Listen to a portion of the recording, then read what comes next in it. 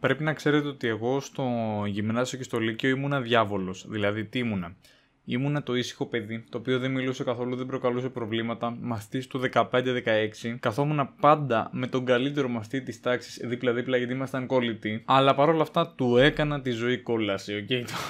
Γενικά, εγώ εκδηλώνω την αγάπη μου ε, ασκώντας bullying, ε, πειράζοντας, εκνευρίζοντας το διπλανό μου, γιατί μου αρέσει παίρνω αγάπη από τις αντιδράσεις του ρε παιδί μου και μου αρέσει να του δείχνω έτσι την αγάπη μου. Το ξέρω, μερικές φορές υπερβάλλω, αλλά έτσι είναι. Και που λέτε γυμνάσιο τώρα καθόμουν με τον ε, τότε κολλητό μου προφανώς και του είχα κάνει τη ζωή κόλαση. Okay, του είχα κάνει τη ζωή κόλαση, τον πείραζα συνέχεια κτλ. Και δεν την πάλευε ρε παιδί μου. Οπότε ήμουνα που λέτε ε, στο γυμνάσιο και ζωγράφιζα συνέχεια θυμάμαι με το στυλό μου πούτσες στο βιβλίο της Οδύσσιας του κολλητού μου. Αλλά τύπου το είχα μαστεράρει ε, με μία κίνηση παπ, παπ, χωρίς να αφήσω το στυλό από το τετράδιο έκανα μία πούτσα και έτρεχα δηλαδή. Και, και το έκανα αυτό γιατί. Γιατί ήξερα ότι αυτός διαβάζει μαζί με τη μάνα του οπότε αυτή θα έβλεπε τις πούτσες στο βιβλίο του και θα έλεγε αυτός ε, ο Κώστας. Και πήγαινα έτσι δίπλα του έλεγα Α, κοίτα από εκεί κάποιος έρχεται, κοίτα αυτός από εκεί και που απ, πούτσα, ε, δικά σου τελείως, κατάλαβες. Ε, παπ, παπ, παπ, ε, το την έκανα και έτρεχα και είχε πάρα πολύ φάση μέχρι την ημέρα που αυτό το παιδί μου το έχω κάνει ένα εκατομμύριο φορές και το ε, έχει βαρεθεί. Ε, του έκανα πούτσα αυτό στη μουτζούρνε συνέχεια για να μην τη δει η του ή γενικά γιατί δεν ήθελε πούτσες πάνω στο βιβλίο του και καλά έκανε ο άνθρωπος αλλά μέχρι την ημέρα που είχε ξεχυλήσει το ποτήρι, είχε ξεχυλήσει μέρες τώρα, απλά τρελάθηκε το ξεχυλισμένο ποτήρι, σαν χάρτινο καλαμάκι στη Coca-Cola που το βάζεις μέσα και γίνεται συντριβάνι, τέτοιο ήταν το ποτήρι. Όπου τι γίνεται, τι γίνεται, χτυπάει το κουδούνι, αυτός ήδη καθόταν στο θρανίο, εγώ μπαίνω μέσα, τον κοιτάω, γουρλώνω τα μάτια και ξέρει και ξέρω και όλοι ξέρουμε τι πάω να κάνω. Αυτός απλά κάθεται στο θρανίο και κοιτάει το βιβλίο του μπροστά και περιμένει. Και εγώ έτσι όπως γουρλώνω, τρέχω slow motion τώρα το βλέπω όλο αυτό. Τρέχω προς το βιβλίο του. Αυτός απλά κοιτάει να δει θα το κάνει όντως ο μαλάκας. Και εγώ πάω, αρπάζω παιδιά που λέτε το στυλό με το χέρι μου, αριστερόχειρας, και τους ζωγραφίζω μια τεράστια πούτσα. Τεράστια με μια κίνηση που καλύπτει όλη τη σελίδα, ρε, τεράστια. Και τι κάνει αυτός, αντανακλαστικά μου πιάνει το χέρι, πιάνει τον αντίχειρά μου και τον γυρνάει πίσω. Δεν τον γυρνάει πίσω σε ένα μαγαζί στα Ζάρα, ξέρω εγώ, γεια σας. Ήρθα να γυρίσω πίσω τον αντίχειρα, δεν μου έκανε. Ε, τον βάλετε στον κόλλο σας, ναι, αρκετά και δεν ήταν στο νούμερό μου, ήθελα extra large. Δεν ήταν τέτοια φάση. Ήταν σε φάση μου το γύρισε, κλατς, ακούμπησε το, τον καρπό μου. Μου τον σπάει instantly. Εγώ πονάω, αλλά μου άξιζε στην τελική. Δηλαδή δεν παραπονέθηκα του φασέρι μαλάκα. Τι κάνεις εκεί πέρα; ήξερα τι έγινε. Το δέχτηκα και λέω θα πορευτούμε χωρίς αντίχειρα, δεν πειράζει. Να σα πω, παιδιά, ότι για μία εβδομάδα δεν του έκανα τίποτα στο βιβλίο. Ε, και αυτό γιατί δεν μπορούσα να γράψω. Ήμουν αριστερόχειρα, όπως σας είπα. Οπότε ε, ε, έγραφα παιδί με το δεξί για μία εβδομάδα. Δεν είπα σε κανέναν πώς και τι. Προφανώς δεν καρφώνω, είναι και κολλητό μου πάνω απ' όλα. Και έγραφα με το δεξί. Έχω να πω ότι αν θέλετε να προπονηθείτε να γράφετε με το δεξί, μπορεί να γίνει ή με το αριστερό αντίστοιχα. Στην αρχή τα γράμματα σας είναι λίγο σαν γραμμική β είναι λίγο σαν ε, μουτζούρες, αλλά σιγά σιγά βγάζει νόημα. Και θυμάμαι τότε είχαμε μία μουσικό η οποία στο μάθημα της μουσικής, ε, προφανώς σε ποιο μάθημα, της γυμναστικής θα ήταν, όχι βέβαια, της μουσικής μας υπαγόρευε και εμείς γράφαμε κάτι. Και εγώ τώρα φανταστείτε να τα γράφω με το δεξί. Τα γράφω λίγο σαν γιατρός, αλλά εγώ τα διάβαζα τέλος πάντων και αυτό μετράει. Fun fact, ρε παιδί μου, είχα κάνει την ε, ζωή κόλαση του παιδιού αυτού και μετά από κάποια χρόνια σε ένα λυκιακό πάρτι τον πετυχαίνουν, του λέω Πού είσαι, ρε, τι γίνεται, όλα καλά. Θυμάσαι που αυτό και αυτός αντανακλαστικά έτσι που καθόμασταν δίπλα-δίπλα, μου κάνει ένα παπ, πετάει το χέρι του και με το. Πώς λέγεται, με την αντιπαλάμη του με χτυπάει στα αρχίδια έτσι. Παπ, παπ, παπ πολύ γρήγορα έτσι, νίτζα. Πονάω, πέφτω κάτω, σκύβω, κάνω. Και του λέω, ξέρεις κάτι. Μου άξιζε.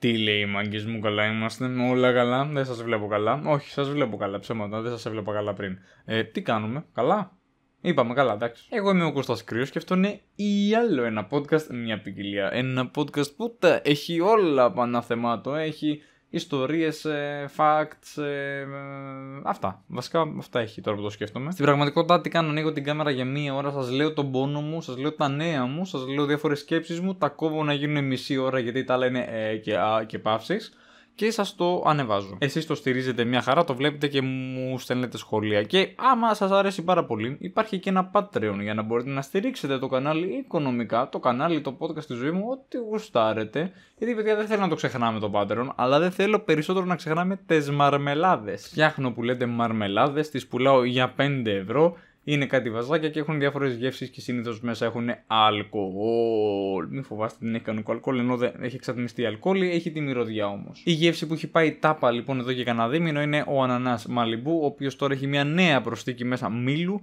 και είναι ακόμα καλύτερος, πιστέψτε με, και υπάρχει για όποιον θέλει το παραγγείλει, καθώς και η νέα γεύση καρπούζι μερακή και μήλο πάλι. Γενικά το μήλο γαμάει. Σκέφτομαι σιγά σιγά να βάλω και κανένα πεπόνι στο παιχνίδι, αλλά είναι πάρα πολύ. Γενικά ζητάτε πάρα πολύ μαρμελάδες και δεν προλαβαίνω, δεν έχω βάζα, δεν έχω το ένα τ' άλλο.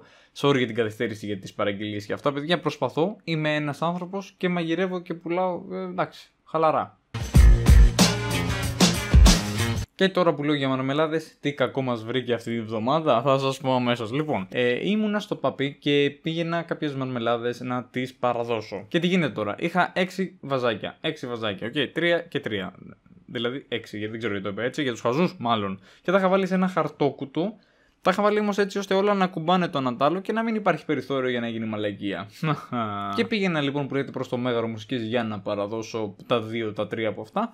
Και έτσι όπως πήγαινα, είχε ο, ο δρόμος, γενικά η Ελλάδα, τι είναι η Ελλάδα στον δρόμο, λακκούβες. Τι είναι η αποχέτευση, τι είναι χαλασμένος δρόμος, τι έχει φυτρώσει δέντρο, τι είναι ρεματιά και έχει πεταχτεί άσφαλτος; Δεν έχει σημασία, παιδιά. Επειδή δουλεύω κάθε μέρα, όλη μέρα στο μηχανάκι και το απόγευμα δίνω και μαρμελάδες και πάω σε παραστάσεις, οι λακκούβες πάνε και έρχονται. Μην ρωτάτε εμένα, ρωτήστε τα αρχίδια μου που χτυπάνε πα, πα, πα, πα, πα, κάθε μέρα πάνω στη σέλα και υποφέρουν και λένε ρε Κωστάρα, Είμαι μάρτον πια με τις λακκούβες, πήγαινε από ένα σωστό δρόμο και δεν ξέρω αν το έχετε παρατηρήσει. Όσοι οδηγάτε και ειδικά παπί, έχει περισσότερες λακκούβες παιδιά από τα δεξιά. Εγώ γενικά πάω σακότα και είμαι δεξιά-δεξιά στη λωρίδα και πάντα από τα δεξιά έχει περισσότερες λακκούβες, αποχετεύσεις και τα αρχίδια μου. Και τα αρχίδια μου ενώ πονάνε. Οπότε που λέτε προχωρούσα, προχωρούσα με τον παπί μου, πήγαινα στο, στο μέγαρο και κάποια στιγμή πα, πα, πα, πα, πα, πα, πα μία λακκούβα, δύο λακκούβες, τι λακκούβες.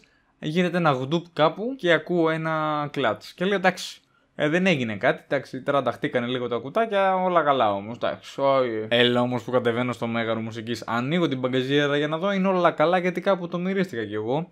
Και βλέπω μέσα στο χαρτόκουτο το χάος, παιδιά. Στην ουσία, τι είχε γίνει έτσι όπως είναι λοιπόν τρία βαζάκια με καρπούζι και άλλα τρία βαζάκια. Το ένα είχε καρπούζι, το άλλο ανανά και το άλλο ε, ντοματίνι που ήταν μια exclusive γεύση που εξαντλήθηκε. Ένα από τα πρώτα τρία καρπούζια, παιδιά, είχε ανοίξει, δεν είχε σπάσει, είχε ξεβιδωθεί από το κούνημα, κούνημα, κούνημα, κούνημα. Ε, κάποια στιγμή ξεβιδώθηκε, δεν θέλει και πολύ, ρε παιδί μου και άνοιξε. Και γενικά δεν είναι ότι ξεβιδώνονται τα καπάκια κτλ. Μπορεί να μην είχε κλείσει το συγκεκριμένο, μπορεί ε, χαλάρωσε, δεν κοπανιόταν ρε παιδί μου μετά, αλλά κάποια στιγμή κάτι, κάτι θα αντιδρούσε κάπως και άνοιξε, έπεσε το βαζάκι για κάποιο λόγο και τα έκανε όλα μπουρδέλο. Όταν λέω όλα όλα, τα άλλα βαζάκια, το χαρτόκουτο, την μπαγκαζιέρα, γάμισε τα ρε. Όλος παραδόξου όμως, παιδιά, τα τρία άλλα βαζάκια, όχι τα καρπούζια, τα άλλα τρία που ήταν ένα και ένα και ένα, για κάποιο λόγο δεν πτωήθηκαν πουθενά. Λίγο τα καρτελάκια τους ψιλοχάλασαν, ψιλο, στις γωνίες δηλαδή, αλλά τίποτα άλλο. Πήρα κατευθείαν, πήγα στο περίπτερο, πήρα μορομάντιλα, τα καθάρισα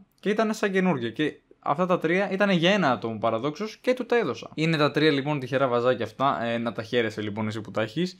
Τώρα τα υπόλοιπα έγιναν κόλλος. Ακύρωσα προφανώς παραγγελίες εκείνης της ημέρας, δεν μπορούσα να τα πάω έτσι. Και δεν μπορούσα γενικά να έχω αυτή την μπαγκαζιέρα. Τα βαζάκια όμως επειδή δεν σπάσανε, τα κράτησα, αλλά έπρεπε κάπως να πετάξω το τέτοιο. Οπότε Έχισα. Όχι κανονικά. Έχισα τα βαζάκια που είχαν ανοίξει γιατί είχε ανοίξει το ένα και το άλλο, το άλλο είχε ανοίξει και είχε φύγει το μισό, αλλά υπήρχε άλλο μισό.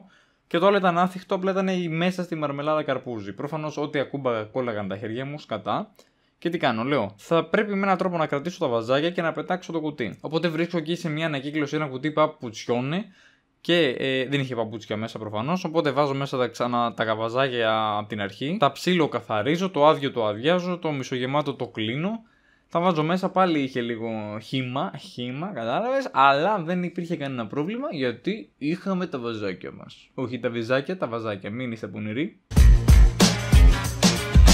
Το ζήτημα ποιο είναι αυτής της ιστορίας. Ότι όταν πήγα να πάρω μορομάντιλα και να γυρίσω πάλι πίσω στην παγκαζιέρα, είχε έρθει ένα μελισσάκι και έτρωγε από τη μαρμελάδα μου. Πολύ κολακευτικό, μπράβο, ευχαριστώ, ναι, και ωραίο marketing. Αλλά ήταν μια μέλισσα και δεν μπορούσα να ζήσω με αυτή. Οπότε έπρεπε ή να τη διώξω ή να τη σκοτώσω ή να την φάω, δεν ξέρω τι έπρεπε να κάνω, παιδιά. Αγχώθηκα πάρα πολύ και λέω δεν μπορώ να τη διώξω έτσι γιατί θα μου εντυπητεθεί και θα με σκοτώσει και θα πεθάνει κι αυτή και ξέρεις κάτι.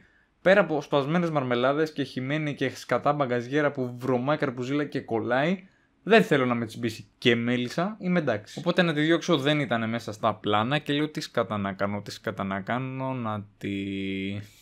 Έλαντε. Και αφού την άφησα να φάει αρκετά, έφαγε, έφαγε, ναι, τι λες τώρα. Ε, πήρα τη δύσκολη απόφαση και λέω πρέπει να τη σκοτώσω. Το άλλο πλάνο ήταν να την κλείσω μέσα στην μπαγκαζιέρα να φάει όλη τη χειμένη μαρμελάδα, ώστε να καθαρίσει η μπαγκαζιέρα και να είμαστε κύριοι. Αλλά θα ήταν χρονοβόρο και μετά το φάνηκα και την μπαγκαζιέρα μέσα η μέλισσα θα ήταν ντούκι και θα με έδερνε και θα είχε και δίκιο. Ελληνικό καφέ, παιδιά, πρόχειρο δεν είχα να τον ανάψω να, να μερακλώσει η μέλισσα και να φύγει. Οπότε πρέπει να κάνω κάτι. Και λέω θα τη σκοτώσω δυστυχώς εδώ που φτάσαμε. Πρέπει να τη σκοτώσω χωρίς να την αγγίξω, χωρίς να, να γίνει γρήγορα, να γίνει γρήγορα για να μην υπάρχει πόνος και χωρίς να βγάλω το παπούτσι μου στη μέση του μεγάλου μουσικής και να κοπανώ την μπαγκαζιέρα μου σαν τρελός. Οπότε, παιδιά, τι έγινε; Ντρέπομαι με αυτό το πω αυτό, αλλά τι έγινε; Λοιπόν, περίμενα να φάει λίγο τη μαρμελάδα και πήγε ακριβώς στο σημείο που πέφτει το καπάκι της μπαγκαζιέρας όταν είναι να κλείσει. Και λέω ρε Κώστα, α, πάμε, δώσ' το. Και παίρνω την μπαγκαζιέρα το καπάκι εδώ πάνω και κράκ το κοπανάω και λέω. Αλλά επειδή υποσυνείδητα τα παιδιά δεν ήθελα να τη σκοτώσω στην πραγματικότητα, δεν το έκανα με όση δύναμη χρειαζόταν και ζούσε ακόμα. Οπότε το ξανασηκώνω λίγο και κρά ξανά. Και δεν πέθανε. Και λέω, Όχι, ή Μάρτον έχω γίνει δολοφόνος. Οπότε σηκώνω και κρά. Και λέω, Όχι, δεν πεθαίνει. Η Μέλισσα να έχει γίνει πίτα, να μην έχει πεθάνει 100%. Και λέω δεν, δεν γίνεται. Απλά είδα ότι δεν μπορούσε να πετάξει. Σηκώνω το καπάκι και τη βλέπω έτσι λίγο ανάπηρη θα έλεγα και την πετάω στο δρόμο. Αυτή πέφτει κάτω και αρχίζει και σπαρταράει. Δεν μπορούσε να πετάξει προφανώς, ήταν λίγο πίτα. Αλλά ζούσε, ζούσε. Το έβλεπα και ζούσε και λέω: Δεν μπορώ να το κάνω αυτό. Δεν μπορούσα να την πατήσω γιατί φοβόμουν να μην μπει κάτι στο πόδι μου και λέω: Ρε μαλάκα, τι θα κάνω. Θα την αφήσω έτσι, τι να κάνω, παιδιά. Δεν μπορώ. Θα τη φάει κάποιο ζώο, κάποιο περιστέρι. Δεν ξέρω ποιος τα τρώει μέλισσε. Θα έρθει ένας μυρμηγκοφάγο μαζί με έναν εξαδερφό του το μελισσοφάγο και θα τη φάνε. Δεν ξέρω. Δεν ξέρω τι θα κάνω. Δεν με νοιάζει, είναι μια μέλισσα. Οπότε τι κάνω, βάζω μπρος το μηχανάκι, κάνω όπισθεν και την πατάω κατά λάθος και λέω τουλάχιστον την έβγαλα από τη μιζέρια της. Τι άλλο καλό που λέτε, ε, ήμουνα στη δουλειά, δούλευα και γυρνούσα, ε, ήμουνα... Δεν έχει σημασία ιδιαίτερη, ήμουνα πάνω στο μηχανάκι, ήμουνα με τώρα με γυαλιά ηλίου, φανταστείτε με κράνος, δεν φαινόταν καν ποιος είμαι και πού είμαι. Και περνάω από το ελληνικό και ήταν 3-4 πιτσιρίκια τύπου ρε παιδί μου δημοτικό. Και να με βλέπει, με αναγνωρίζει για κάποιο περίεργο λόγο και ας ήμουν έτσι όπως ήμουνα. Και εγώ προχώρησα μπροστά γιατί πήγαινα και ακούω από πίσω να έχει βάλει παιδιά όλη του την ενέργεια, όλο του τον πνεύμονα, όλη του τη δύναμη και να φωνάζει «Α, ο TikToker!» Και ναι, νιώσα ντροπή. Δεν έκανα κάτι, το αγνόησα. Γιατί παιδιά, η αλήθεια είναι ότι είναι ντροπή να είμαι ο TikToker. Ε, κάνω πολλά πράγματα. Κάνω κομμωδία, κάνω μαρμελάδες, κάνω σάντουιτς αυτά τα ματ. Κάτι οτιδήποτε. Τώρα ο TikToker έτσι αυθαίρετα δεν μ' αρέσει. Υπάρχει βέβαια γιατί τα ανεβάζω και στο TikTok τα βίντεο και τα βλέπουν και γίνεται της πουτάνας, αλλά ε, είναι κάπως. Και χαίρομαι πάρα πολύ επειδή δεν υπάρχει και σε άλλα επαγγέλματα αυτός ο ενθουσιασμός. Δηλαδή, κανείς δεν είδε ποτέ στο δρόμο και ο υδραυλικός! Και να είναι ο κυρπαντελή με τους σωλήνες στο χέρι και να ντρέπεται, να μην θέλει να τον δούνε και να φοράει τη μάσκα του και να φοράει ε, ε, το παντελόνι, να κρύβει την κολοχαράδρα του ή οτιδήποτε.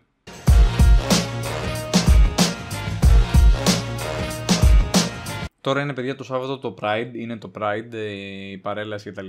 Στενάχωρο που τη μεταφέρανε από το Σύνταγμα στην πλατεία Κοντζιά, γιατί εκεί είναι το περίπτερο της Νέας Δημοκρατίας, το Σύνταγμα τέλος πάντων και δεν μπορείς να το ε, πειράξεις. Γενικά δεν θέλω να πω τίποτα για το Pride. Ε, θα στηρίξω όπως θέλω με οποιοδήποτε τρόπο θέλω. Θα πάω δηλαδή, θα δώσω το παρόν για την τάξη. Ε, τώρα να σας πω απόψεις ένας λευκός straight cis άντρας σας πει απόψεις για το Pride δεν έχει κανένα νόημα παιδιά, δεν έχει κανένα απολύτως νόημα θα διαβάσω όμως κάτι που έγραψε μία φίλη, μισό λεπτάκι γιατί μ' άρεσε πάρα πολύ χαιρετίσματα στη φίλη Αναστασία αν μας ακούς, ξέρεις εσύ λοιπόν και λέει, γράφει ήρθε ο Ιούνης, ο μήνας του Pride, OK okay. Οι straight λοιπόν λένε ότι δεν καταλαβαίνω γιατί πρέπει να διατυμπανίζεις η σεξουαλικότητά σου. Νομίζω ήσασταν και έτοιμοι να το γράψετε μερικοί στα σχόλια, σας είδα. Οπότε λένε αυτό οι straight. Και επίσης λέει η straight, άνω κάτω τελεία. Να καλέσουμε 100 ή 200 άτομα στο γάμο. Μήπως 100 είναι λίγα; Μήπως καλύτερα να γίνει γάμος στη Μητρόπολη; Πού θα κάνουμε τον Bachelor, στριπτιτζάδικο; Να διοργανώσουμε τραπέζι την προηγούμενη μέρα ή μόνο τη δεξίωση μετά; Μήπως το γλέντι να είναι τριήμερο στο χωριό, παραδοσιακά με τα ούλια να γεμίσουν οι δρόμοι, ρε παιδί μου. Έχεις παραγγείλει αρκετές κορδέλες να βάλουμε στα μάξια που θα κορνάρουν. Βγάζει φωτογραφίες και τα ποστάρει σε όλα τα social media. Και αυτό ρε παιδί μου πάνω στην πλάκα του, πάνω στο, στην κριτική του είναι ένα πολύ σωστό τέτοιο. Γιατί υπάρχουν κάποιοι άνθρωποι που λένε Έλα μου, ρε που θα παρελάβουν οι περίεργοι. Ο καθένας στο κρεβάτι του ό,τι θέλει, αλλά όχι έξω. Αλλά παρόλα αυτά, εμείς όταν ε, είμαστε straight και παντρευόμαστε, να το μάθε και η τελευταία πέτρα. Παιδιά, δεν είναι δίκαιο αυτό. Καλά τα είπες, Αναστασία μου, μπράβο, με κάλυψε. Δεν θα πω εγώ κάτι γιατί νομίζω ότι άλλη μία άποψη ενός λευκού ή straight άντρα, όπως σας είπα πριν, δεν έχει κανένα νόημα. Είμαι υπέρ του Pride, εννοείται. Με στεναχώρησε η αλλαγή, η μετακίνηση στην πλατεία λόγω προεκλογικών πραγμάτων. Κάποιοι άνθρωποι έχω ακούσει ότι δεν θα στηρίξουν το Pride γιατί έχει καπιταλιστικοποιηθεί, δικιά μου λέξη, ε, πάρα πολύ ότι έχουν μπει χορηγοί, έχουν μπει να να να να να να και είναι οι ίδιοι άνθρωποι που τη λένε σε εταιρείες που ξέρεις μόνο τον ε, Ιούνιο ανεβάζουν το logo τους απλά με ουράνιο τόξο χρώματα και λένε ε, στηρίζουμε Pride και αυτό ήταν ό,τι μπορούσαν να κάνουν. Στο δεύτερο θα συμφωνήσω, η αλήθεια είναι ότι είναι λίγο... Ε, εντάξει ρε φίλε, τώρα άμα είναι να το κάνουμε για να πούμε το κάναμε, μην το κάνεις καλύτερα θα πω εγώ τώρα. Να ανεβάζουν για παράδειγμα τα McDonald's τον Ιούνιο το M ε, με LGBTQ plus χρώματα ουράνιο τόξο και αυτό δεν μας είπε και τίποτα, οπότε άστο καλύτερα. Δεν χρειάζεται να αρμέγουμε κάθε, το κάθε τι, ε. Αλλά τώρα το δεν πάω να στηρίξω το Pride γιατί έχει καπιταλιστικοποιηθεί και χορηγεί και λεφτά και τέτοια. Ρε μαλάκα, τι, έλα τώρα μην ακούω παπαριές, όλα χορηγούς έχουν εκεί έξω να πούμε, άστον. Δεν σε πειράζει ρε μαλάκα, την τσέπη στο τρώει. Όχι ρε μαλάκα, τσάμπα είναι, πας εκεί, τα βλέπεις όλα και τέλειωσες. Επίσης καλλιτέχνες παίζουν για σένα δωρεάν, κάποιος να τους πληρώσει, κάποιος να πληρώσει τη διοργάνωση. Εντάξει, καλή και η τσάμπα δουλειά, αλλά ας πάρει κάποιος κανένα λεφτό. Δεν έγινε και τίποτα. Θα μου πεις κανονικά είναι μια παρέλαση, είναι μια διαμαρτυρία, θέλουμε τα δικαιώματα να είναι ίσα κτλ. Συμφωνώ, δεν χωράνε μέσα χορηγούμενα και τέτοια. Ναι. Αλλά πού είναι το πρόβλημα; Τόσος κόσμος πηγαίνει, το στηρίζει, κάποιος να πληρωθεί. Οι καλλιτέχνες εντάξει. Θα κάνουν και το τσάμπα τους που έχουν γίνει. Οι καλλιτέχνες έχουν πάει στο Pride τσαμπέ να παίξουν πάρα πολλές φορές και σε πάρα πολλά χρόνια αλλά δεν είναι κακό κάποια στιγμή να πληρωθούν και όλα. Θυμάμαι μια χρονιά που είχα πάει, ήταν μια χορηγός μια πολύ γνωστή ε, μάρκα προφυλακτικών και ήταν κάποιοι άνθρωποι που μύριζαν, μύριζαν, μύριζαν προφυλακτικά. Θα ήταν λίγο περίεργο αυτό, σαν, το σκύλο μυρίζει τρούφα, να μην πηγαίνουν αυτοί και να μυρίζουν προφυλακτικά. Πού είναι οι ραπδόσει. Μοίραζαν λοιπόν προφυλακτικά και τσαμπά και μας χάλασε. Τσάμπα πότε βάζει για το λίλι μας. Ε, κακό, κακό είναι. Όχι μωρέ με τους περίεργους να πούμε. Άντε αντικαπιταλιστές τώρα το θυμηθήκατε. Πάμε να στηρίξουμε και ό,τι είναι, είναι, δεν πειράζει. Χαίρομαι που έχει γίνει παιδιά θεσμός που είναι κάθε χρόνο, ξέρουμε ότι έρχεται. Έχει άπειρα events, ε, live, ε, stand-up, open mic, έχει διάφορα τέτοια. Ε, χαίρομαι πάρα πολύ. Γενικά, όταν ένα event έχει παρέλαση, είμαι μέσα. Τώρα είναι Pride, είναι απόκριες, δεν με νοιάζει. Όταν υπάρχει μια παρέλαση πέρα της κανονικής παρέλασης, γιατί εγώ θέλω λίγο έτσι χορό. Ξέρετε κάτι, αν οι κανονικές παρελάσεις χορεύαμε μέσα αντί να περπατάγαμε, θα ήμουν πάρα πολύ υπέρ και θα έκανα κάθε μέρα. Αχα, ακριβώς. Αλλά δεν έχει, οπότε ε, θα μείνουμε στις παρελάσεις που έχουμε. Τι άλλο ενδιαφέρον έγινε; Λοιπόν, ακούστε. Θα μοιραστώ κάποιους προβληματισμούς και αν θέλετε, ακολουθήστε τώρα. Λοιπόν, λοιπόν, λοιπόν, λοιπόν. λοιπόν. Τώρα, παιδιά, καλοκαιριάζει και έχουμε πάρα πολλές συναυλίες. Σωστά, σωστά θα πεις Κωστάρα. Μπράβο, το είπες τέλεια.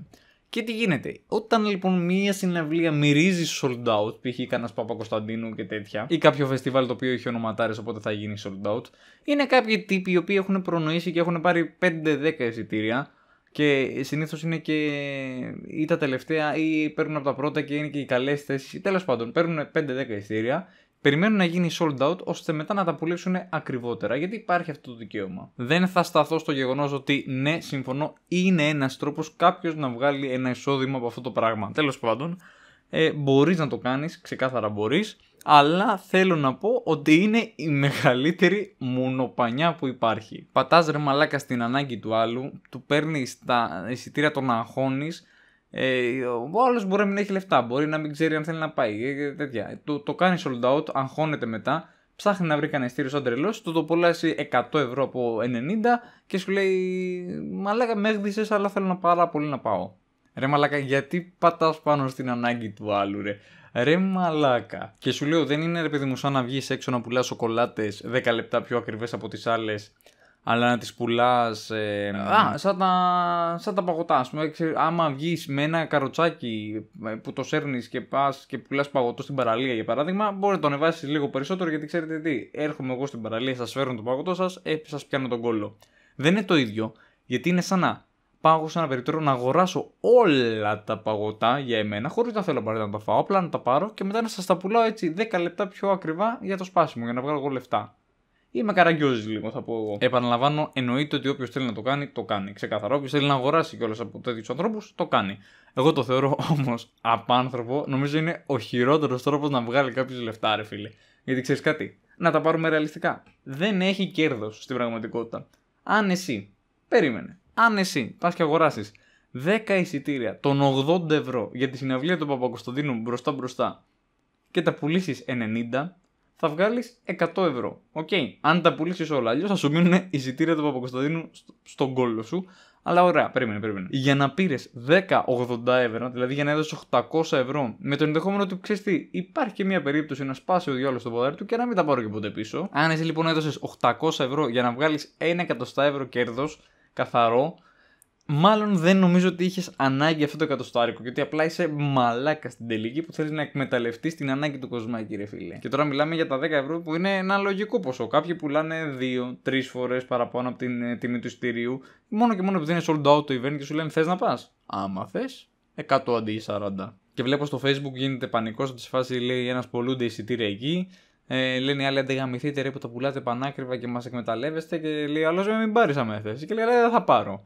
Και εγώ, παιδιά, προτείνω να μην παίρνουμε από αυτούς. Αυτή είναι εμένα η δικιά μου λύση. Αν θέλετε, μην το κάνετε, αλλά εγώ αυτό προτείνω. Και επειδή ξέρουμε ότι κάθε χρόνος στατιστικά θα υπάρχει τουλάχιστον μία συναυλία, σίγουρα θα υπάρχει μία συναυλία που θα πεθάνουμε ή ένα φεστιβάλ να, θα πεθάνουμε να, και θα θέλουμε πάρα πολύ να πάμε. Α κρατάμε ένα ευρώ κάθε τόσο στην άκρη. Ένα, ένα, ένα, ένα. Θα μαζευτεί ένα εξιντάρικο κάποια στιγμή και θα είμαστε σίγουροι ότι έχουμε ένα εισιτήριο ανά πάσα ώρα και στιγμή για να το δώσουμε για να πάμε σε μια συναυλία που θέλουμε. Δηλαδή, εγώ φέτος είδα ήρθαν οι Imagine Dragons, Guns N' Roses, ε, τα παπάρια μου τα δυο, ήρθαν όλοι. Οπότε ξέρω ότι του χρόνου θα γίνει τη τρελή. Θα έρθει σίγουρα, θα έρθουν σίγουρα Gutan Klein φέτος, ε, Prodigy, άστο δεν το συζητάμε. Οπότε ξέρω ότι του χρόνου θα έρθει σίγουρα κάτι που θα πεθάνω. Οπότε θα βάζω τώρα ένα ευρώ στην άκρη, ένα ευρώ τη βδομάδα τίποτα. Σε πόσες εβδομάδες θα έχω 60 ευρώ, σε 60 εβδομάδες; Αργεί αυτό, αλλά κατάλαβες. Θα βάζω 5 ευρώ τη εβδομάδα και θα έχω ένα εισιτήριο κάποια στιγμή στην άκρη να περιμένει και με το που το πάρω θα σας το πουλήσω 100 ευρώ παραπάνω.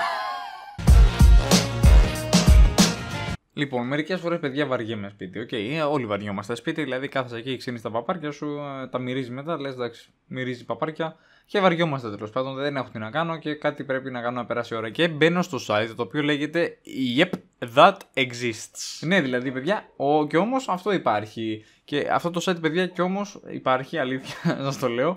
Το οποίο τι είναι, θα μου πείτε. Είναι ένα site με κάποια άρθρα, ας πούμε, με κάποια πράγματα τα οποία όντως υπάρχουν και τα έχει μαζεμένα εδώ πέρα. Θα δώσω κάποια παραδείγματα για να καταλάβετε. Για παράδειγμα, σου λέει εδώ πέρα μια εταιρεία ε, πουλάει ζώα, ε, λούτρινα ζωάκια, τα οποία όμως είναι ε, ε, αναμίξεις. Δηλαδή, για παράδειγμα, έχει εδώ πέρα ένα γουρούνι, σκεφτείτε ένα λούτρινο γουρούνι, όμως που η, η κοιλιά του, ο κορμός του, όλο αυτό είναι αυτά του σκατζόχυρου, τα τέτοια. OK, okay, είναι λούτρινο. Έχει εδώ πέρα ένα τυραννόσαυρο ρεξ, ο οποίος είναι κιτρινόμαυρος, σαν μελισσούλα. Α, να και το callback από πίσω. Και έχει φτεράκια και είναι, ξέρω εγώ, τυραννόσαυρος μέλισσα. Έχει μια φάλαινα όρκα που είναι πάντα γιατί είναι και ασπρόμαυρα και τα δύο. Ε, τι άλλο καλό, έχει, έχει ένα πίθηκο γάιδαρο, έχει διάφορα, έχει έτσι αναμίξεις και τι λέει αυτή η εταιρεία λοιπόν λέει τα πουλάει στα παιδιά για να αυξήσει λέει, την φαντασία των παιδιών. Αλλά λέει ο στόχος της ο κύριος είναι να ενθαρρύνει την αποδοχή και τη διαφορετικότητα στα παιδιά. Να πει ότι εντάξει, ξέρεις κάποιο γουρούνι όντως μπορεί να είναι σκατζοχυρένιο. Και τι έγινε; θα παίζω και με αυτό. Ε, το θεωρώ παιδιά πάρα πολύ έξυπνο, μου αρέσει και θα προτείνουμε και μερικά άλλα ζώα. Προτείνω να κάνουν πραγματικότητα τα ζώα που έχουμε ε, ήδη, π.χ. το, το σκυλόψαρο, να είναι ένα ε, σκυλί το οποίο τελειώνει σε ψάρι. Να κάνουν το χελιδονόψαρο, το οποίο δεν έχουμε μάθει ακόμα αν είναι χελιδόνι ή ψάρι. Δεν έχει σημασία, νομίζω ψάρι είναι, δεν έχει ιδέα. Αλλά να, κάνουν, να το κάνουν τέτοιο. Το γατόψαρο εννοείται. Το μυρμηγκοφάγο να τον κάνουν πραγματικότητα. Όχι όμως να κάνουν ένα μυρμηγκοφάγο, να κάνουν ένα μυρμήγκι. Το μισό και το άλλο μισό να είναι ε, κάτι, ένα προϊόν της φάγε. Μπορεί να κάνουν πάλι ένα δεινόσαυρο τυρανόσαυρο έτσι, ο οποίος να είναι μισός όπως τον ξέρουμε, και άλλο μισός να είναι ε, ε, ένας γερμανικός πειμενικός που λύνει αστυνομικές υποθέσεις και να είναι ο τυρανόσαυρος Rex, αλλά ο Rex από τη σειρά, καταλάβατε. Μπορεί να κάνουν ένα πάντα το οποίο να είναι έτσι το κεφαλάκι του το ασπρόμαυρο που ξέρουμε και να καταλήγει σε ένα κίτρινο πουλί και να λέγεται Πανταρίνι. Ε, τι άλλο καλό. Μπορεί να κάνουν μια καμιλοπάρδαλη, η οποία όμως είναι πάρα, πάρα πολύ κοντή και λέγεται χαμηλοπάρδαλη. Αυτό δεν έχει κάποια ανάμειξη, απλά εγώ με βλάκας. Εννοείται ελέφαντας, ο οποίος ε, είναι ο μισός κουτάκι φάντα, ελεφάντα, κάπου εκεί. Κάπου εκεί είναι ένα αστείο, παιδιά, θα το βρούμε όλοι μαζί. Και το αγαπημένο μου νομίζω είναι να κάνουν ένα γερμανικό πειμενικό, ο οποίος θα φοράει λέω γερμανικό πειμενικό και τα σκυλιά απ' έξω οριάζουν. Ναι, παιδιά, τα κλασικά. Τα κλασικά ακριβώς. Περιμένω λίγο, ναι. Μαλάκα, γιατί κάνει τσακώνονται. Τι έχει γίνει έξω. Ρε μαλάκα, θα ήθελα να ξέρω.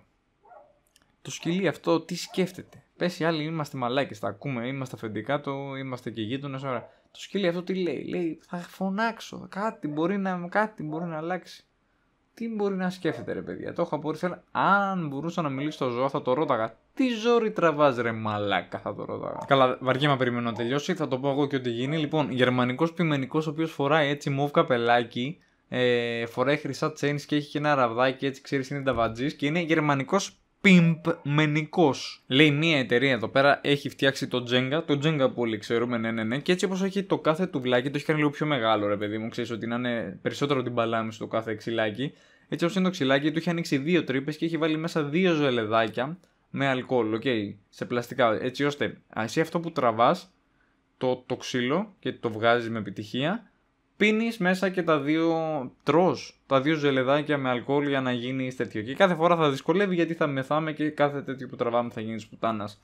Και υποψιάζομαι ότι αυτός που θα τραβήξει ένα και θα πέσουν όλα θα τα πιει όλα.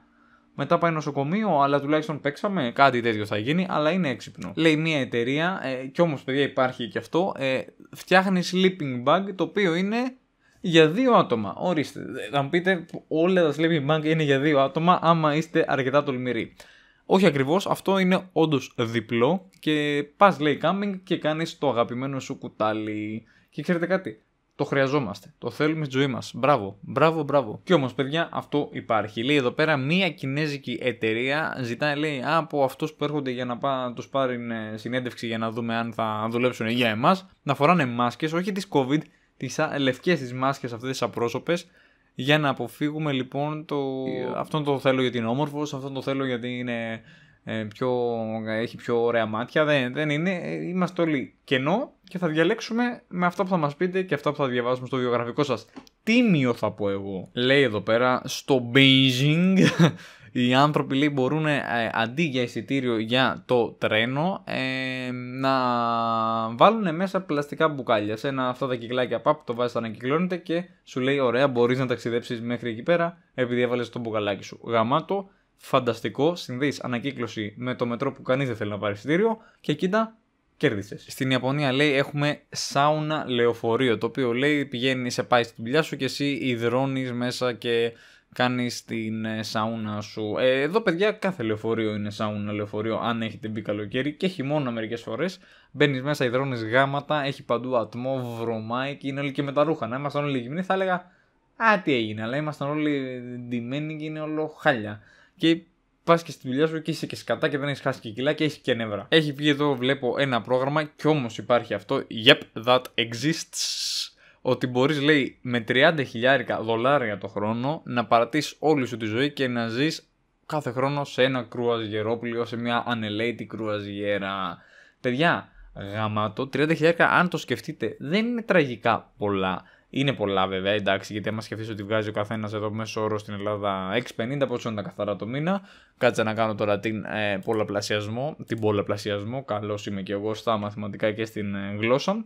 Οπότε 6,50 επί 12 βγάζει 7,800. Ούτε καν στο 30 κοντά. Αλλά κατάλαβες, λίγο κομπόδεμο να έχεις την άκρη με 30 χιλιάρικα στα αρχίδια σου ζωή και είσαι κρουαζιέρα. Ένα χρόνο. Η Κίνα βλέπω εδώ πέρα, πολλά. Όχι, η Ιαπωνία βλέπω εδώ πέρα.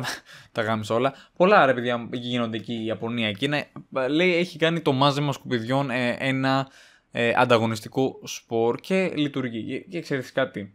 Μ' αρέσει. Όπου βάλει ανταγωνισμό, ρε παιδί μου, μέσα, θα πάει ο κόσμος και θα το κάνει και θα γίνει επιθετικός. Και ισχύει. Οπότε, γιατί να μην το βάλουμε στο μάζεμα σκουπιδιών; Ε, ιδέα σου λέει εκείνα. Η Ιαπωνία. Τα, τα έχω μπλέξει όλα τα μπούτια μου, παιδιά. Σου λέει βγαίνετε τώρα 10 άτομα και 10 άτομα, δύο ομάδε.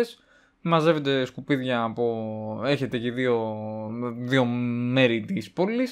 Και όποιο μαζέψει τα περισσότερε, τις περισσότερες σακούλε σκουπίδια κερδίζει κάτι. Δεν ξέρω τι κερδίζει, αλλά έχει ένα κίνητρο τέλο πάντων.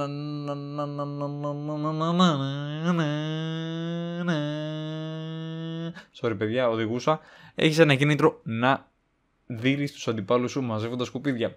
Μ' αρέσει που είναι έξυπνη και σου λέει με μετρό πλαστικά μπουκάλια, σκουπίδια ανταγωνιστικό. Ψάχνει τρόπους, ρε παιδί μου, τουλάχιστον το πέταμα να γίνει ενδιαφέρον. Γιατί είναι και βαρετό να πετάς σκουπίδια. Και κάτω και στη σακούλα. Βλέπω εδώ πέρα μια σουηδική παιδιά εταιρεία. Ε, φτιάχνει λέει τα πρώτα παντελόνια τζιν. Τα οποία είναι αερόσακοι και είναι για ε, μοτοσυκλετιστές. Και ξέρεις κάτι, μαλάκα ιδεάρα. Λέει, αμέ να πέσω που να πέσω, να φουσκώσω το παντελόνι μου, να μην χτυπήσω και πολύ. Ε, γαμάει, το δέχομαι και το ακούω, παιδιά. Γιατί το κράνος, εντάξει, σώζει ζωές, εννοείται, αλλά το υπόλοιπο σώμα είναι εκτεθειμένο. Και δεν θα φοράμε τώρα κόκαλα καλοκαιριάτικο, αλλά τζιν. Το οποίο είναι αερόσακο, μαλάκα, αυτό είναι ιδεάρα. Βλέπω εδώ πέρα στην Κίνα. Πού αλλού θα μου λέγανε ρε Κωστάρα, ναι, και όμως στην Κίνα η αστυνομία λέει στο Chong Quing. Ε, δοκιμάζει λέει τη νέα στρατιά με σκίουρους που μυρίζουν για ναρκωτικά.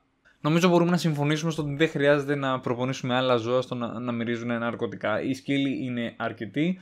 Ε, αν δεν βάλετε κανένα γουρούνι, τα οποία μυρίζουν τρούφα, μυρίζουν και κόκα. Μέχρι εκεί. Τώρα, ο σκύουρο δεν νομίζω ότι χρειάζεται να τον εκπαιδεύσεις να μυρίζει ναρκωτικά. Και πέρα από αυτό, δεν θέλω καν να μάθω πώς εκπαιδεύεις ένα σκύουρο να μυρίζει ναρκωτικά. Ε, τι είναι, σαν το πέρα από το φράχτη, όσοι το έχετε δει, που είναι ο σκιούρος και τα παίρνει όλα και γίνεται γεια σας και τα βλέπει όλα slow motion. Δεν θέλω να ξέρω. Ε, να μου πεις γιατί τα σκυλιά πώς τα μαθαίνουν. Πάλι δεν θέλω να ξέρω. Α μείνουμε στην τρούφα που την ψάχνουν σκυλιά και γουρούνια. Ε, και τρούφα, ναι, τρούφα. Αυτό είναι το ναρκωτικό μου εμένα. Λέει λοιπόν, παιδιά, στην Γλασκόβη, στην Σκοτία, υπάρχει ένα κλαμπάκι, ένα νυχτερινό κλαμπάκι, το οποίο τι κάνει; Ε, τι κάνει, κάτσε να δω τι κάνει, γιατί καλά τα λέμε εμείς, αλλά δεν τα διαβάσαμε κιόλας. Έχουν φτιάξει λοιπόν, παιδιά, τον dance floor να είναι ε, ε, φιλικό προς το περιβάλλον, που λέει το πάτωμα, ανάλογα με την ε, τριβή και το χορό που ρίχνουν, μπορεί λέει, να παράξει ενέργεια για να κρατήσει ανοιχτά τα φώτα και τον ήχο που είναι αυτά τα οποία σπαταλάνε τη μεγαλύτερη ενέργεια και όλα παιδιά στα clubs. Και λέει με αυτό κιόλας δεν παράγει και carbon μονοξίδιο της κατά, οπότε είναι και φιλικό προς το περιβάλλον, αλλά αυτή η πατέντα. Και θα ρωτήσεις, μα καλά, πόση ενέργεια παράγεται εγώ, ενώ εγώ χορεύω, ξέρω εγώ, τι κατά. Και σου λέει, όταν λέει χορεύεις σε ένα μέτριο ρυθμό τύπου Rolling Stones, παράγεις περίπου 250 watt. Αλλά όταν λέει μπαίνει καμιά χαουζίλα, καμιά ντούμπο, ντούμπο, ντούμπο, ντούμπο, ντούμπο, ντούμπο, ντούμπο, ντούμπο, και εσύ χοροπηδάς σαν τρελός, μπορεί να ε, φτιάξεις 500 με 600 βατ ε, θερμικής ενέργειας, thermal δεν ξέρω τι είναι, δεν είναι μεγάλο φυσική, αλλά μαλάκα παράγεις ενέργεια χορεύοντας. Είναι στην ουσία κάτι πανελάκια έτσι το πάτωμα τα βάζεις, εσύ πατάς πάνω, χορεύεις στην ουσία γιατί είναι το dance floor και σιγά σιγά τέτοιο. Έχουν μια ζωή λέει 10 χρόνια και μετά ε, ε, πεθαίνουν, αλλά είναι γαμάτα γιατί μπορεί να τα στολίσεις και με LED και να είναι έτσι και όμορφα και να παράγουν ενέργεια. Γαμάτι παιδιά ιδέα, μου αρέσει πάρα πολύ και εδώ πέρα θα λειτουργούσε στα κλαμπάκια που έχουμε. Έτσι να είμαστε και λίγο οικολόγοι πάνω απ' όλα. Πολύ οικολογικό έχει γίνει αυτό το επεισόδιο. Θα μου πείτε στο προηγούμενο επεισόδιο έλεγες τις κατά, πώς θα καταστρέψεις το περιβάλλον που σε πρόδωσε και τώρα θες να το βοηθήσεις; Ε, ναι, παιδιά μου πέρασε. Εντάξει, τώρα έκανε ζέστη. Τώρα απλά καίγομαι και μπορεί να πάθω εγκάβματα στο δέρμα μου και να πάω στο γιατρό αλλά τώρα το αγαπάμε το περιβάλλον γιατί είναι ξεκάθαρο. Θα κάνω μόνο ζέστη και μόνο ζέστη κάνει. Η KFC λέει, ένα τελευταίο, ένα τελευταίο κι όμως αυτό υπάρχει παιδιά, η KFC λέει ε, βγάζει κάτι, αυτά τα αρωματικά sticks ρε παιδί μου και μυρίζει λέει όλο στο σπίτι όλη την ημέρα σαν ε, κοτόπουλο από τα KFC. Ξέρεις τι, Άλλο πράγμα δεν ήθελα, ρε. Ευχαριστώ πάρα πολύ. Ο, δεν θέλω. Το τελευταίο, παιδιά, πράγμα που χρειαζόμουν ήταν να μυρίζει όλο το σπίτι KFC κοτόπουλο όλη μέρα. Πραγματικά είναι το τελευταίο. Και μιας και το πω αυτό, ένα λεπτό να κάνω μία παρένθεση εδώ πέρα πριν κλείσουμε. Τι γίνεται τώρα, όσοι ακούτε δεν έχετε ιδέα τι δείχνω, είναι φανταστείτε ένα μεγάλο βάζο, το οποίο μέσα περιέχει ένα υγρό σαν κάτουρο έτσι όπως τον βλέπω. Οπότε φανταστείτε ένα μεγάλο βάζο με κάτουρο. Αλλά δεν είναι κάτουρο στην πραγματικότητα. Είναι παιδιά ένα μυρωδικό χώρο ε, με sticks από πάνω, ένα βαζάκι. Και τη γεύση έχει, ε. Γεύση. Τη μυρωδιά έχει, ε. Είπα γεύση πολύ σωστά, γιατί η μυρωδιά του παιδιά είναι φρεσκοψημένο ψωμί και κουλούρι. Μυρίζεις σαν φούρνος, έχει μια. Α, έχει μια ψωμίλα έτσι, μια κουλουρίλα έτσι, σαν να βγήκανε μόλις από το φούρνο και είναι φανταστικό. Μου το έχει δώσει η φίλη η Άννα, η οποία ε, είναι φίλη ενώ της ε, εκπομπής και στηρίζει γενικά και μπορεί να γίνει κάποια στιγμή και κάνουν και φίλοι. Ποτέ δεν ξέρεις. Γεια σου, Άννα, χαιρετίσματα μας βλέπεις και μας ακούς. Ε, και μου το έδωσε δώρο. Ε, παιδιά γαμάει. Πραγματικά το έχω δω πόσες εβδομάδες. Αλλάζω τα στικάκια κάθε Παρασκευή, ξέρω εγώ. Μυρίζει όλο το δωμάτιο κουλούρι και ψωμί και είναι μαλάκα εθιστικό. Βέβαια πεινάω συνέχεια, αλλά είναι άψογο. Μπράβο. Γενικά ποτέ δεν ήμουν τέτοιος φαν με τα sticks που μυρίζουν, μέχρι που το έβαλα στη ζωή μου και είναι παιδιά ό,τι καλύτερο. Συστήνω να πάρετε μυρωδικά ξυλαράκια, να μυρίζετε, ε, να έχει μια μυρωδιά το δωμάτιό σας, το σπίτι σας, ο χώρος σας τέλος πάντων και να λέτε αυτό είμαι εγώ. Ε, εγώ είμαι ψωμί. Αυτά παιδιά από εμένα. Ελπίζω να σας άρεσε το σημερινό podcast, να μάθατε και τίποτα γιατί ψάξαμε τέτοιο. Δείτε το yepthatexists.com κάπου υπάρχει να δείτε μέσα μαλακίες που ανεβάζουν. Αν σας άρεσε το βίντεο πατήστε ένα τεράστιο like να το δω. Αν σας άρεσε και στο Spotify πατήστε και 5 αστέρια να το δω. Ε, αν σας άρεσε ακόμα περισσότερο, γράφτε μου ένα σχόλιο κάπου γιατί βοηθάει τον αλγόριθμο έτσι στο YouTube έτσι για να πάει περισσότερο εδώ. Ακούσουν περισσότερα αυτιά, ρε αδερφέ μου. Ή στείλτε μου μπράβο Κώστα, ωραία μαλακή έκανες πάλι, θα το εκτιμήσω. Δεν ξεχνάμε με τίποτα το Pantheon που υπάρχει στη Ρώμη για να πάτε να το δείτε, αλλά επίσης δεν ξεχνάμε και το Patreon που υπάρχει για την οικονομική στήριξη του καναλιού. Επίσης, η οικονομική στήριξη μπορεί να κάνεις και με μαρμελαδάκια αν τα αγοράσεις από την πηγή. Εγώ είμαι η πηγή και αυτά νομίζω, ναι. Ευχαριστώ πάρα πολύ που ακούσατε πραγματικά άλλη μια Τρίτη. Καλοκαιριάζει και δεν είναι εύκολο να είστε εδώ και να ακούτε τις μαλακίες μου, αλλά χαίρομαι όσοι είστε εδώ και όσες και όσα. Οπότε αυτά από μένα μάγκες και μάγκησες. Ήμουν ο Κώστας και τα λέμε την επόμενη Τρίτη. Bye.